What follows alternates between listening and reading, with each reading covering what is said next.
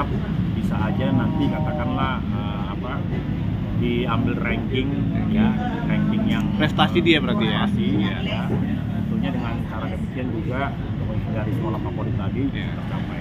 Intinya umur janganlah Menjadi selalu, patokan utama ya. patokan utama. Oke. Terima kasih Pak Agus untuk bincang-bincang kita ya. Eh, jadi di sini Pak Agus eh, kasih pesan-pesan kepada masyarakat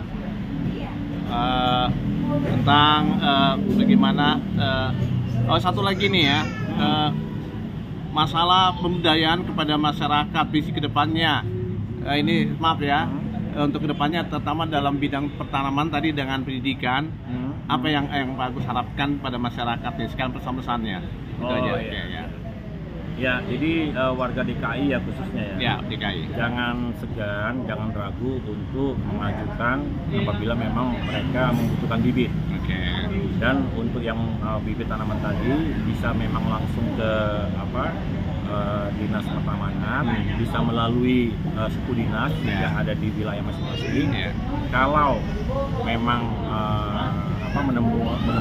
kesulitan atau supaya rasa lebih bisa cepat, bisa melalui saya. oke Nah, Bisa langsung ya? Bisa langsung. Oke. Dan itu semuanya gratis. iya iya oke Itu semuanya gratis. iya Dan tentunya kita harapkan juga bibit ini ya Iya.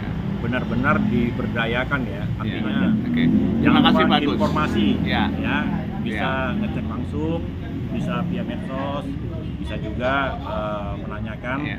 Ya eh, teman-teman atau guru-guru. ya Ya bisa juga menanyakan wakil rakyatnya, ya ya kan? Nah, Nggak mesti dari daerah pemilihannya ya, Nggak bebas mesti. semua wakil rakyat Iya. di, gitu ya. Silakan. Kadang-kadang kita takut gitu ya, gitu, takut ditolak gitu. Iya. Oh, ini eh, wawancara kita ini aku dia aku WA ke beberapa teman, Hmm, hmm. Ada satu permintaan itu tentang eh, pandangan dari Pak Agus sendiri sebagai wakil tentang kemandirian masyarakat. Ini sorry tadi kita Hmm, lupakan.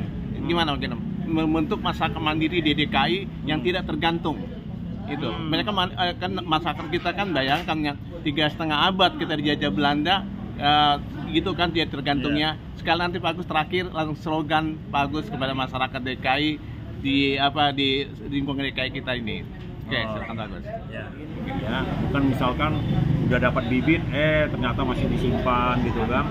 Masih apa namanya terabaikan eh, terlantar di halaman rumah.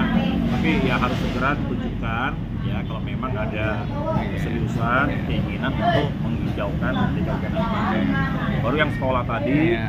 eh, menurut saya sih untuk apa terkait dengan tadi masalah umur ya itu hanya tinggal menunggu waktu jadi eh, hingga sekarang ini tetap aja mengikuti aturan yang ada karena selain itu kan ada eh, apa ada tahap yang lain ya salah Iya. satunya yang terdekat dengan RT yang terdekat dengan sekolah kemudian ada juga tahap akhir yang eh, adik-adik kita ini bisa sekolah di swasta Oke. yang gratis karena ditanggung oleh eh, Oh, jadi ya, oke dibantu da- oleh Hmm. APBD DKI ya Betul. oke makasih Nah, oke Jadi Oh, kita nggak nggak harus apa ya menunggu Oke. menunggu gimana supaya Oke. perubahan sistem aturan tadi eh, diperbaiki. Iya. Tapi kalau ada eh, perkembangan-perkembangan Iya. yang bisa membantu